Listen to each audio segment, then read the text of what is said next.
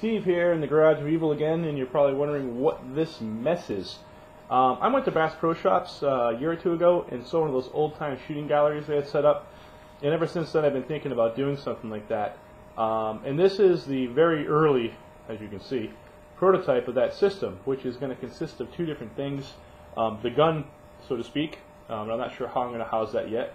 Um, thinking of maybe making kind of a sci-fi deal and of course a series of targets that give a visual indicator, um, set things off, so on and so forth.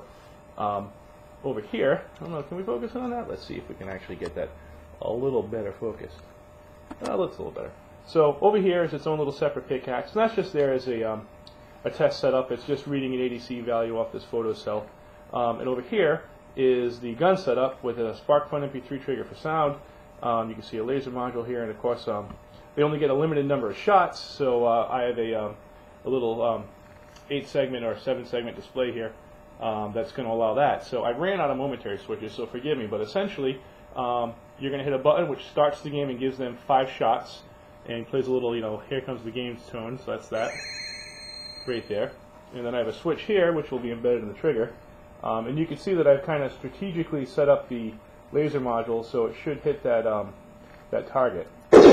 And it did. And you can see I put a little visual indicator there to let me know I hit it. And it's going to count down. And you can see I'm including a pause between each shot because I thought it would make it more challenging if um, they had to just wait, you know, almost a second and a half in between shots so they couldn't just sort of follow the little green dot, as it were, which is, of course, how I cheated at Bass Pro Shops. Um, so then, you get five shots. This next shot's going to play a game over tone for him. And that's that. So I have to shrink all this down, put it on a permanent board, house it in a cool gun module, and then figure out how I want to actually handle all the targets and, uh, and their responses. But this is it, the earliest of early prototypes. Hope you dig it. Bye.